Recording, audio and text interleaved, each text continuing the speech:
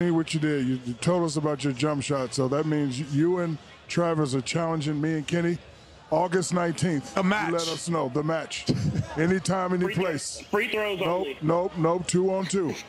two on two. Two on You- two. Yeah, two I on don't know two. about that, man. Why not? I don't know. I Why not? You well, working on your jump Hey, shot. Pat, first of all, it's like two I'm and a not half. moving very well, so I might have a chance. Pat, Actually, uh, I did not- get a new hip. It's I a- did get a new hip. it ain't really two on two. It's two and a half. Who, who's a half? You, you two and you one and a half, big I, I, I know your fat ass and just called me one and a half. So,